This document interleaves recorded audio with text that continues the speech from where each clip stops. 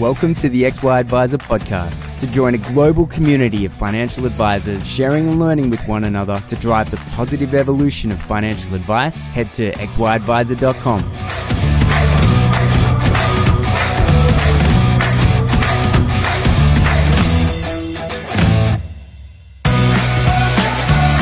Sarah, welcome to the XY podcast.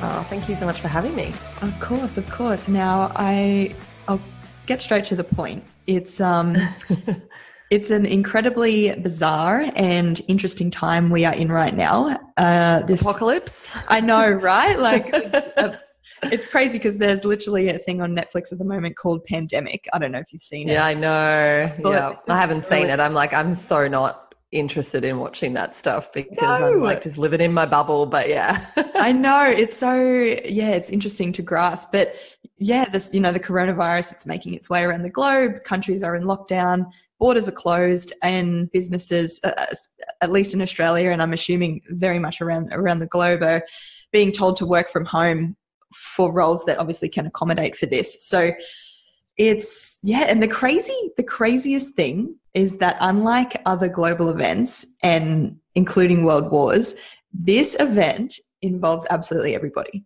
like mm-hmm. i'm just trying to wrap my head around that. It's just yeah it's incredibly bizarre.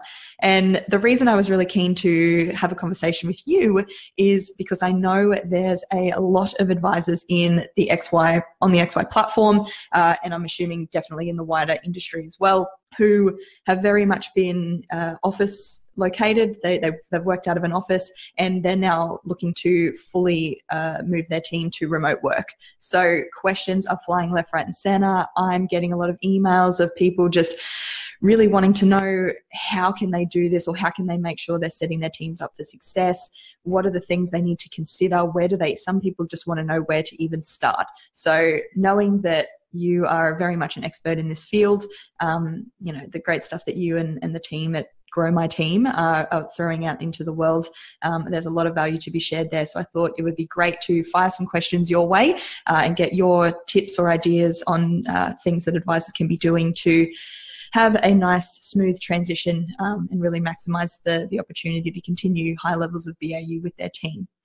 Um, yeah, for sure. And I mean, it, I was an advisor before, and my company was fully remote. So I've kind of been, I'm, I'm in this space now professionally, but I ran an advice firm that was completely remote, and it absolutely can be done. And it's not something to be afraid of. And it's actually going to open your world up to so many possibilities. And it's very, very exciting. I'm super excited for people because, like, the whole reason why I even went in to grow my team was because I saw the opportunity for business owners to create more freedom for themselves and their staff. And my life and my lifestyle is honestly amazing. Like, I really do have the most amazing lifestyle, and I wanted it for other people. Obviously, the situation we find ourselves in this moment is like very challenging and fast moving waters and it's difficult. But I kind of say that just to, I guess, put it out there that it's, you know, there's going to be some real gifts in this as well. Absolutely, I, I, agree. I feel like this is a real pivotal time, and I have a I have a feeling that a lot of advisors or, or businesses have been sort of throwing the idea around of at least either partially remote or going fully remote.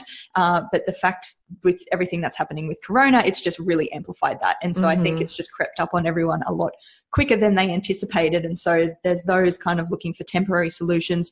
But I feel like this could be the, the starting point for people to think about this for the longer term solution as well. So yeah, I'd be really interested to hear um, from from both a temporary standpoint but also being able to like do something like this full time and what that yeah. like so um i mean look i guess i guess suppose we start at the start like what are the immediate things to consider? Like if we if we take just looking at the situation right now with with this pandemic and whatnot um, what sort of comes to mind in in things that people advisors and their team should be considering first and foremost? I think the first thing is to continue on with your finding ways to transition your culture like your cultural um, rhythms into an online environment. So it's way less difficult than what people think um, but just nail it down. So if you if you have you know a daily huddle in the morning where you all get together and talk about what you're going to be working on for the day, which is common for some businesses to do something like that, recreate it online. If you have lunch every Wednesday with the team, recreate it online, sit around on Wednesday at one o'clock and all have lunch together in front of Zoom or whatever video conferencing technology you want to use. I mean, that we can talk about technology as well, but there's so much, so easy. I think people will often, probably people are more surprised at how ready their businesses already are from a technology standpoint. Um, maybe some people are struggling, but we've been in the cloud for a long time, which essentially means you know everything is available everywhere anyhow. Um, but i would recommend even if you don't do a daily huddle that can be a really nice place to start. I don't do it in my business anymore because we've been remote for six years. I've been remote in all my companies for six years. But that can be a really nice place to start especially if you're going my team is also all over the world in different time zones so it wouldn't make sense for us to do a daily huddle. But if you're going from a team that was all in the office coming in at 8 9 o'clock in the morning or whatever it is um, just do it. 9 a.m everyone jump on for five minutes 10 minutes and just go around and say what are your top three priorities for the day? Have a cup of coffee together and then get on with the day. Like that's a really nice way to just connect and do it on zoom look at each other screens on. Doesn't matter if you're in your pajamas or whatever you want because hey i mean if you, you don't really need to get up and wear a suit when you're working from home like you really don't. So kind of being a little bit more open to that and just your faces and saying hi um, a weekly meeting, you know, I think is great practice um, for business anyway, but doing that especially now. And once again, like when I'm saying all these things, the FaceTime on camera is just super important and that creates the connection. So those would be the first things I would think about is just establishing some kind of FaceTime rhythms every day and week um, where you actually all get to look at each other. If you do have other little meetings within the company, like maybe the advisors meet once a week or your marketing team meets once a week, like just recreate that into an online meeting where you're using video technology to look at each other. And then the one thing that you may not have, although a lot of businesses do, is some form of like chat tool. So Slack is a really common low cost um, solution that a lot of businesses use. We use Basecamp in all of our companies, which is workflow and project management, but also has a chat function. Honestly, like WhatsApp, you can just set up a WhatsApp group for everybody in the in the team and you can at least just message there um, i think something like that where you can just kind of keep that like chit chat going? Like the how was your day yesterday? And how was last night? And how's that thing going with so and so? Like keep that banter and that chit chat going and it's it's easier than you would imagine. And i think a lot of the time we forget the world we live in. Like we're on instagram facebook whatsapp messenger facebook messenger all day every day connecting with people all over the world. Likely if we actually think about it it's no different. We just sometimes haven't fully brought that into our business but have more faith. And you know at this moment it is a question of faith but it'll be proven to you fairly quickly that all of those relationships and connections carry on if not you know just get stronger and bond like they normally would even when it is over technology. Yeah absolutely. And i'm yeah i'm really glad you brought up the sort of uh, channel for chit chat or communication because that's a huge piece because when you're sitting next to someone in the office, you've got all those off the cuff, like, hey, did I tell you about mm-hmm. this? Or hey, do you know how I can do this? And it's those really quick questions. And especially for us with our XY team, because we're in Sydney, Wollongong, we've got Gwen in Cebu in the Philippines. It's when you don't have that um, that face to face interaction, you need to be really mindful of higher levels of communication so that everyone is on the same page or you're not missing out on little pieces of information that's going to sort of trip you up or or you know take the project longer to, to to work through. And yeah the daily huddle for us has been super powerful. So we jump on every morning for 10 minutes and it's really just two questions. Um, we all sort of take turns one by one and it's what are you working on today? And is there any barriers or things holding you up? So it's just want to uh, right there and then. It's like cool yeah i'm working on this and this but to get this out I, i'm still waiting on this. And it's like cool all right who can sort that out for you? Yep sweet. And then basically we're, we're set up for the day. So it really eliminates that need for any you know constant questions coming backwards and forwards on on on the mess whatever messenger service you're using. Um, but yeah, just being able to to to have those off the cuff uh, questions and things, and it's actually um, interesting yeah like we uh, have been sort of uh, sharing some different tools and things that we use with uh, people in the community. And yeah slack for sure. Um, and yeah we can get into the, the the, the tech and things like that. But um, the the xy platform um, we've actually sort of opened up functionality on there for anyone if they would like to use it. Um, to yeah have those have those group conversations have those chit chat uh, a space to you can share files or anything like that and it's just a space to be able to keep that that flow of mm-hmm. communication mm-hmm. and culture and things like that because um, yes not every i have noticed that there are a few teams that because they are face to face all the time they don't have that aside from mm. email or things they actually don't have that channel so we saw that as a way to be able to yeah help them just keep that conversation going whatever that looks like. So i'm yeah really glad you brought that up for sure. Yeah totally. Another another thing on that that you can do is and i, I think it works well is having one kind of group set up in whatever messaging platform you're using that is for like just chit chat like just mm. kind of nothing important the the culture the community the vibe that kind of thing. And then have your other channel that's more for business stuff and just separating it out can be quite good. I mean you'll you'll end up finding depending on how, what technology you use and what you set up, but you'll have like different channels probably to focus discussions around different things, which is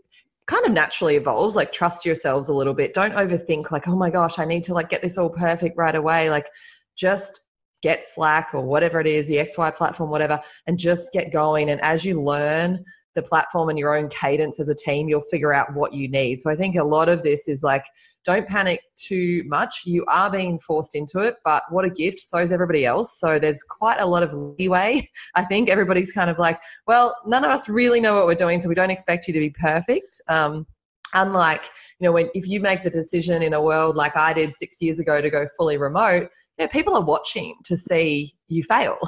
people are watching to see, like, oh, I told you this wouldn't work. And so you feel like a lot more pressure to get it right. And you might be meeting resistance with maybe clients or maybe staff or i mean honestly i met a lot less than i would have thought but right now there's no resistance like we've got to just do it so Absolutely. just do your best dive in um, and let it evo- trust yourself and your team to let it evolve a little bit over time as well yeah, that's great. Now, an area I would like to explore some more is around uh, sort of files and storage and data and security. Um, mm-hmm. And I've seen quite a few questions around that space pop up, and people are kind of wondering what what to use or how can they you know i was chatting to someone the other day their system that their, their operation is so secure that they actually can't work from home mm. because they've got it locked down so well that they don't have the flex to be able to work from home so to advise businesses or advisors in this boat in this sort of position um, who still are wanting to move their teams to at least partially or fully remote um, what yeah talk me through what they can sort of be considering or start to look at to do that. Yeah this is an interesting one and it is challenging for people particularly if if you are like very attached to that high level of security. Um, you know i have a very entrepreneurial spirit and i'm willing to take you know somewhat of a level of risk and and trust in certain things. So i think at the moment, you know, unfortunately, there may have to be a little bit of a leap of faith that you're slightly less comfortable with. But assessing, like, who are the people that I work with and do I trust them? And I would hope that the answer is yes. I know it is for me. I trust my team, like, absolutely. And so, what am I really protecting against? You know, I, I trust my team to do the right things with the data and with all the information in the files. Um, but yeah, obviously there's the solutions like Dropbox or Google Drive. Um, if you're using Xplan or different softwares like that, I'm honestly not super familiar with all the financial planning software right now. You you know more than me, but they all have the ability to store documents and upload and download things and make file notes online and all of that. So it's really just settling on something um, and then doing your best to protect the data as it makes most sense to to you do you know which uh, like are you familiar with which sort of um, options or software are more particularly secure than others or like eh, eh, like is it sort of like a there's i guess there's no one size fits all but there yeah. that certain ones provide that might be more favorable I mean, I love the Google Suite, the Google Apps Suite, because you can have different permission levels and you can share documents with certain people and you can have certain documents that are available for view only or edit only. Um, I, I like it. I, I trust it. And I think using good, strong passwords gives you a lot of protection.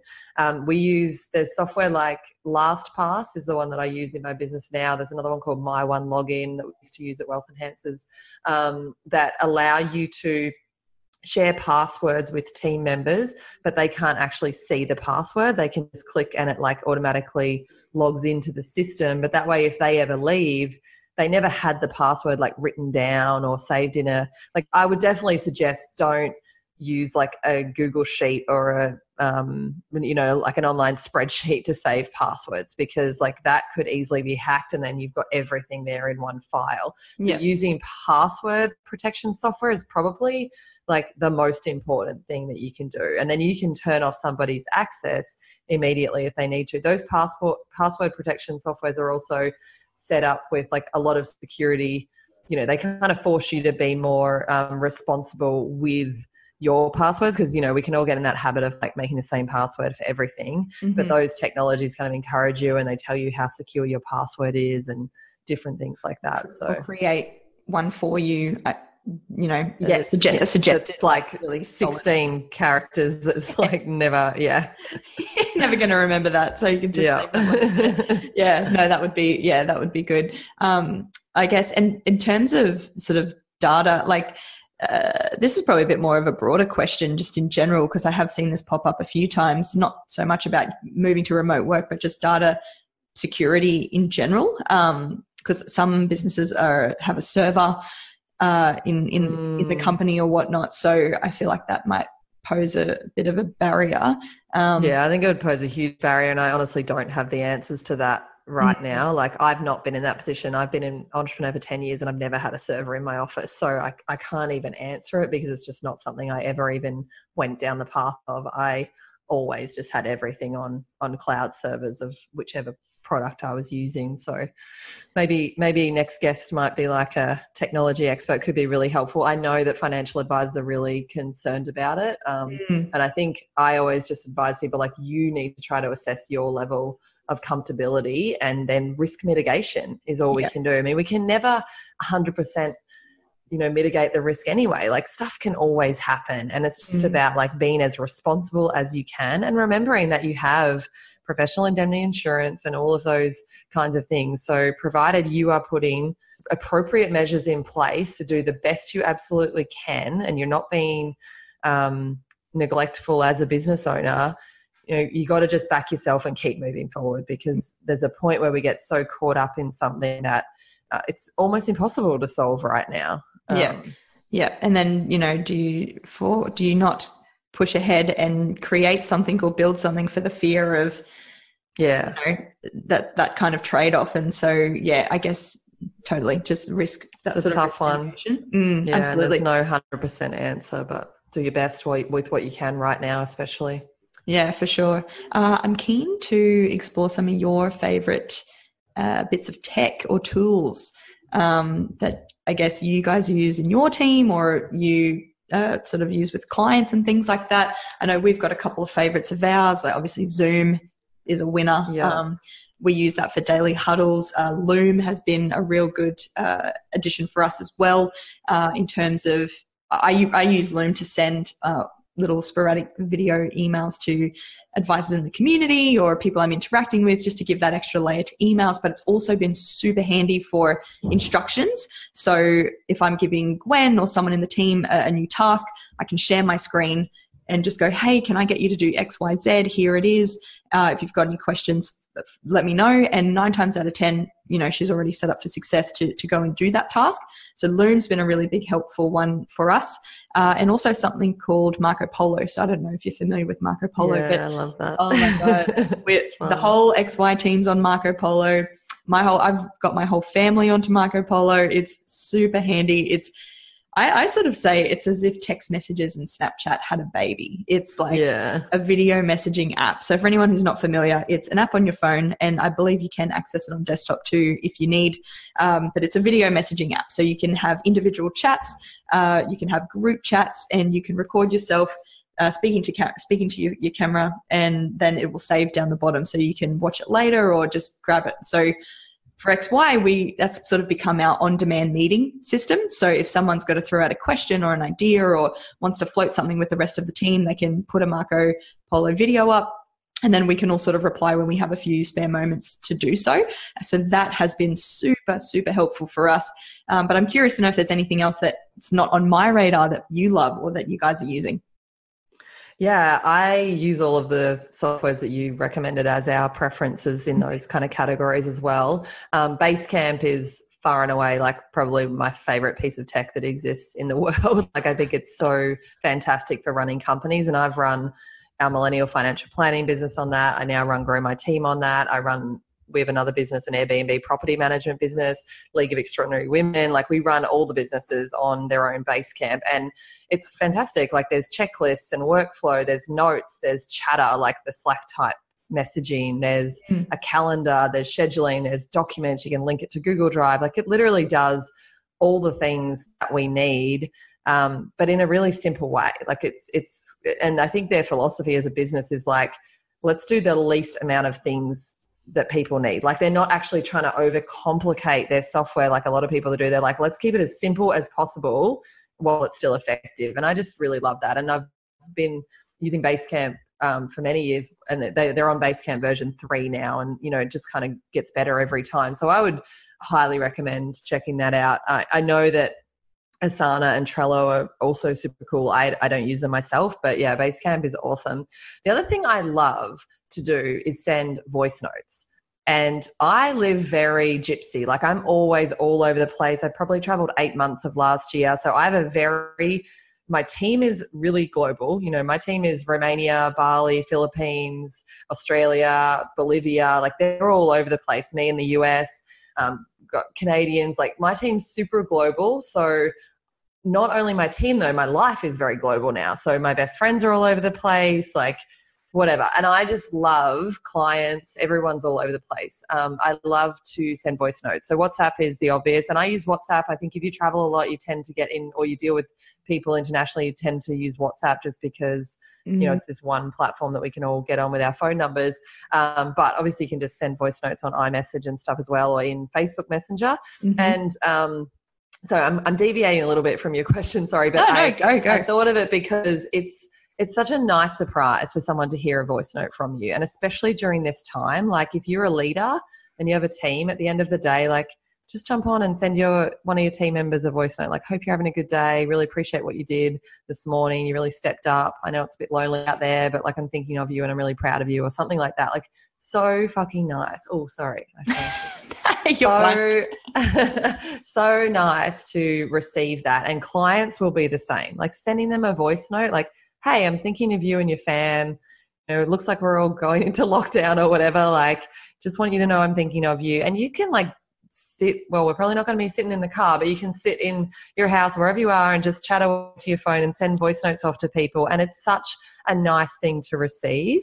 Um, so I would just throw that out there as something you can do during this time that's like, you know, if you can't if your schedules don't match up to have that call or that video face to face, it's a little bit more than a text message. Yeah, absolutely. And I think in both respects, like you said, um, with client communication, it's just that extra layer of person personability and um, just keeping, staying relevant. And especially in this time, like look at the markets and look, just look at what's yeah. happening. And it's, you know, I'm sure plenty of people are, are freaking out, but, um, you know, just to give them that reassurance, like this is the time where advisors step into their value. Like not, not that they're not valuable any other time, they're valuable all the time, but times like this, this is where they truly, oh, truly shine. Yeah. So being able to shoot an off the cuff voice message to just, yeah, to a client to just say, hey, just checking in, uh, you know, everything's all good. I'm keeping a monitor on things like just that.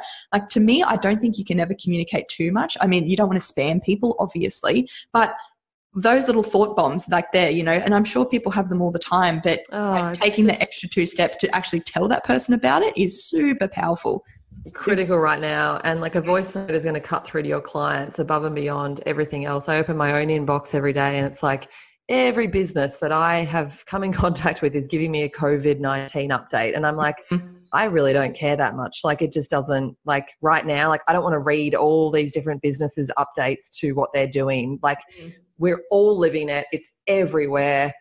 It's the last thing we need. Whereas if someone that i'm working with like a financial advisor sends me a voice note to say, hey, how you doing? You might be feeling nervous about the markets, or I just want to remind you, like, this is what I'm here for, and these are the times when we don't panic.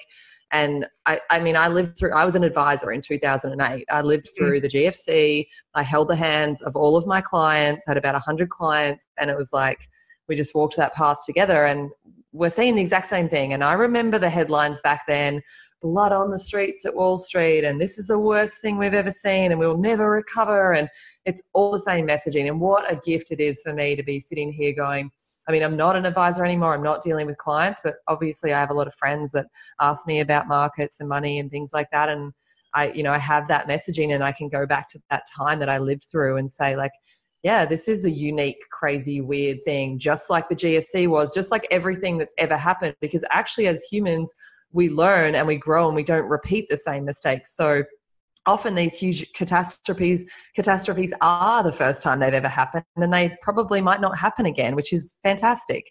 Um, but to be able to cut through the noise and you know not necessarily just send out the email newsletter like i would encourage people right now and i'm kind of thinking as i'm speaking to like no i love this. I think i know where you're going. like don't just toe the like professional by the book line like be different stand out make connection. Like people this whole entire world right now we've just hit the reset button. Like boom everything stops.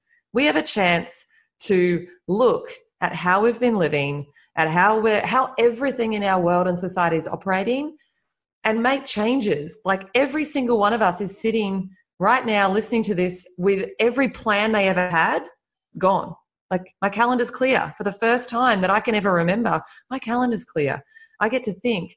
And so tap into that human side and and use that to connect with people. Don't just go down the path of like, you know, what you would learn at you know, marketing and comms degree, like, oh, we're in a crisis. Let's send out the crisis email and let's do this. Like, there is so much of that. People don't need it. What people want to know is like, I don't I've know, send them a funny meme about it or whatever's you, whatever your personality is of you and your business, like tap into that and be that. Show up like that and use this as an opportunity to take off the suit and take off that professional side and merge. All of us right now are experiencing a merge between our, like, life is just one big blob right now. Like, we're at home, people have got the kids, we're, we've got to try to work, we've got to manage everything. Everything's in a big, melting pot right now. So just be that and like it's refreshing. Totally, and and we are all in that melting pot together. So everyone, Liz, uh, Liz Hughes, uh, advisor, just posted into the platform yesterday around uh, how is she going to manage with. Uh, she's now looking to go work from home. Um, she's got to do Zoom calls, and she's like, and I have a crazy four year old who just not, will not leave me alone. And so all the comments and sentiment that came through around, hey, it's life. Your clients are going to yeah. understand. Like they get it. Like if you know, and she shared a couple of good, funny little stories, and and that's it. Like you know, it, it don't have to have this uh, this mask or this filter and be.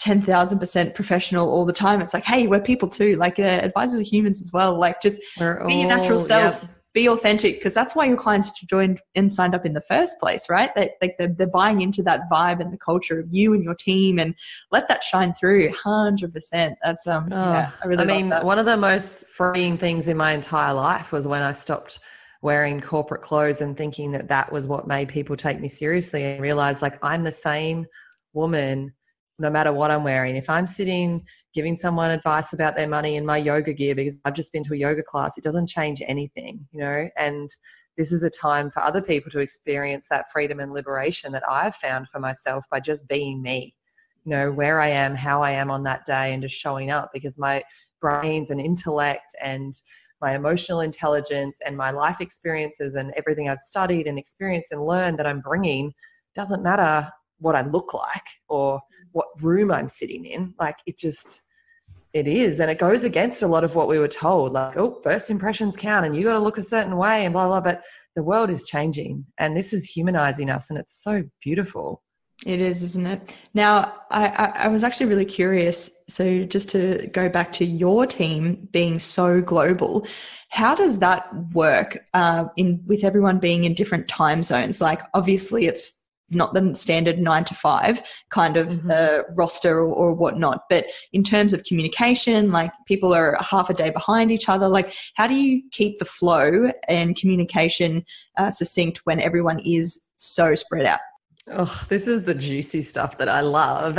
Like, I'm super unconventional now because I just let it be whatever it needs to be. And I mean, I've been in this for a while and I just let go of the reins. Like I just don't have that grip on things that I used to in terms of like I've got a grip on what's going on in my life. Like I know what's happening, but I don't have that like tightness where I have to control and maneuver and manipulate everything and make sure it's exactly how I need it to be. Like I have just allowed my team to step into their power and to be who they are. And what I would pose to us all listening is it actually doesn't make any logical sense to get the 10 people that work for you to all come into the office at 8:30 a.m. and be productive for 8 hours in a row. Those 10 people are different. Some of them have their highest productivity at 11 p.m. at night. Some of them wake up like me early, like 4:35 in the morning. And my most productive hours are like between like 5 and 8 a.m. and I can crush it during those hours. And other people like to work straight through. Other people like to do like a couple of hours here, then go do something else, a couple of hours there. Like this is an opportunity to potentially, if you're like brave enough to step into allowing people to explore how and what works best for them for their own rhythms.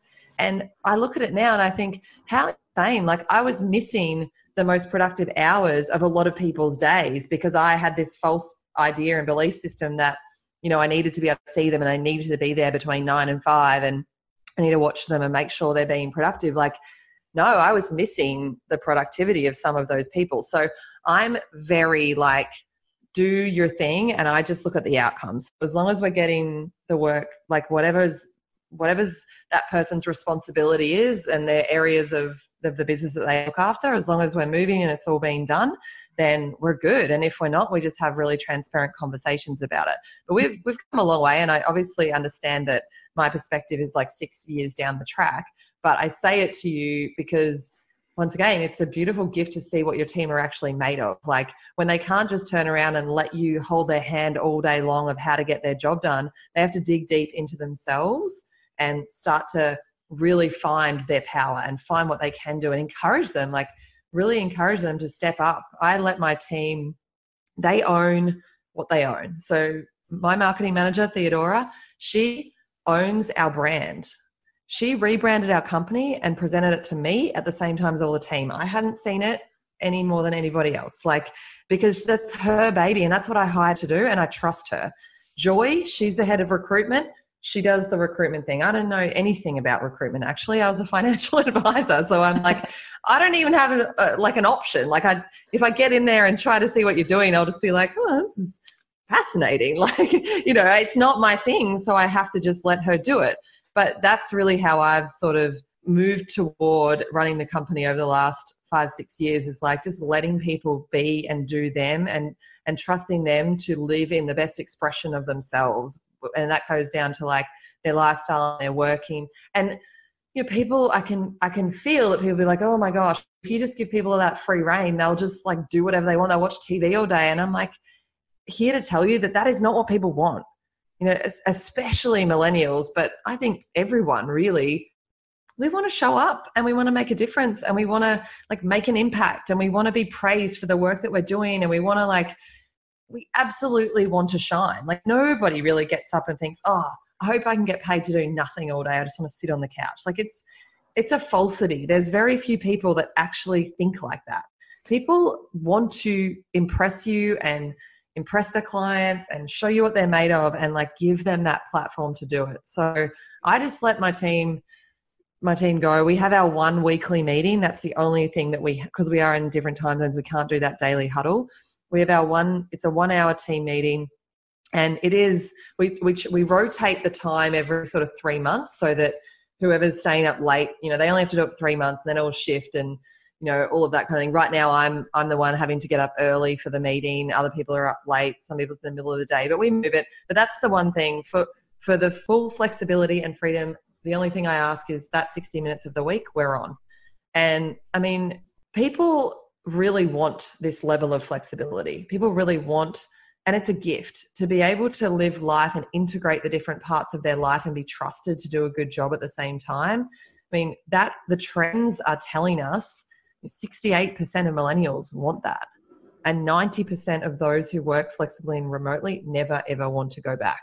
Those numbers are, it's a freight train of a trend. Like it's not like a little side thing. Like this is the future and we're being thrust into it right now. Um, but yeah, trusting your team and maybe it's a little bit of an experiment to just see what you're all made of. Totally. I mean, I guess it's very empowering too, you know, to giving someone that opportunity to step up and show up and be part of something bigger than just themselves than just showing up for the paycheck because yeah you said like i think you alluded to before like incentives money and, and incentives like that aren't the driver anymore people don't no. respond to that it's it's it's not it's not uh, fueling enough for them to do that. And even if it is an experiment to do so, if you, you know, the the chance of having the, the couch potato who really doesn't want to do anything like it it's it's all performance based. So if the outcomes aren't being achieved you'll find out pretty quick yeah. Exactly. You will be able to you know weed those people out pretty pretty quick. So i feel like yeah and and with the level of accessible tech we have now coupled with this sort of pivotal shift um, of what's happening right now. I think this is a really, really fantastic opportunity for people to dip their toe in, give it a tra- crack with their teams. And like you said before, we're all in the same boat. So there's no pressure if you fail or if it doesn't quite work because at least you're trying and you're still, yeah. you know, moving forward to continue to deliver great outcomes for clients, stay in touch with clients, keep that communication strong. Um, and continue to, to, to thrive and build that sustainable business. So, I yeah, that makes a lot of sense. One of the biggest things that happens is on the theme of outcomes based work is you very quickly see who's not performing. And we delude ourselves when we're in office because we're like, well, they're sitting there for like eight hours a day, so they must be doing something. But when you take that like that filter off, it's just it becomes even more black and white. Like, oh, the thing just didn't get done again, or you know, the response rate's not there that we need it to be, or whatever it might be. And you're just like, wow, and you start to have a little more um, real conversations with yourself as a leader and be like, you know what, it's time to set this person free so they can go on and find, you know, what is more suited to them, and we can find someone who's more suited to us. And it happens really fast. So there's also a gift in that. Not that we want to be letting people go at this time or anything like that, but many of us as business owners, we do have people in our team that if we really listen to our heart and our intuition, we know are not the right fit. We know they're not thriving. And it's also a gift to like free them to go and go and do what's going to work better for them and get the business back on track with someone who's really aligned and really passionate. Um, talking about leadership, I'm just thinking like also something that I would kind of suggest to people right now is it's really a time to shine like as a leader and to be a beacon of light or a beacon of hope in the lives of your team members. Like i don't have a tv i don't watch any of the news or anything like that um, but i know that it's everywhere out there. Like you know you can't turn around without talking about this virus but people's what we do every day like showing up for our clients for this greater purpose of whatever our business is like engage your team in that and that gives them something to think about to work on to be a part of while we're living through this very strange moment in time. And i think i've just been checking in with my team with my voice notes or getting on a call with them or sending them individual notes as well just to be like how are you coping? Like and just coaching them on like be careful with who you're spending time with and who you're having conversations with and what you're consuming when it comes to social media and the news because you know you are at home you are probably a lot more isolated than normal. Like be very mindful of your energy and the rabbit hole you can go down um, if you get too consumed in those mass messaging. And like be the person in the team as the leader that like shines the light and be the beacon of hope and keep talking about your passion and your purpose and your values as a business and your clients and all the good work you're doing and resist being just another source of panic and fear that's engulfing the world right now. Totally. There's plenty of that uh, or, already. And it's really, you know, uh, I think of advisors, you know, that's really easy for them to get stuck in a bubble and hard to block out all the negative media press about the industry itself. So this is just mm-hmm. another extension of that. So it's yeah, what you're consuming and what you're taking in, like being very mindful of that and and keeping that glass half full approach and keeping focused and on on track and and yeah, instilling that within the team is very very important. Um, but yeah, thank you very much. It was a great conversation. I got a lot out of all of that. Um, so just to, I guess, close out and and wrap up on that, communication is key, right? Like if you're going to go remote and virtual, having the right channels or systems in place to have great levels of communication will just really help in maintaining BAU, right? You would agree? Yep, absolutely. And then leverage tech. Uh, there's so many free applications out there try, experiment, and know that you're not going to be punished if it doesn't work uh, because everyone's in the same boat right now. And be, yeah, be, be, give it a crack. I mean, what, what, what have you got to lose, really? Um, and yeah, I mean, do you have any other final sort of bits, bits of, you know, advice or words or anything to finish on? I think we covered quite a fair bit. I think we did. I mean, in the in the states, we're um, pretty much locked in our homes now. So, just if you if and when it gets to that point for you guys out there in Australia, like I just went did some gardening and it was a really nice little break from all of the stuff and even from business and everything and just like get my hands dirty, get in the sun, get back to nature. Like there's there's something really beautiful about this time to just slow down a little bit as well. But but believe in yourself, believe in why this is happening, believe in your team uh, believe in your client's ability to be there with you by your side as you do it as well because i think in so many ways and i know and fully appreciate and have compassion for you know some of us will be suffering in terms of cash flow and all sorts of things in our businesses and it is a really difficult time but there is some real blessings happening right now as well Absolutely. And yeah, any feel free, anyone can reach out. Um, if anyone wanted to get in touch with you to say hello, have any questions, anything like that, where's the best place for them to do that?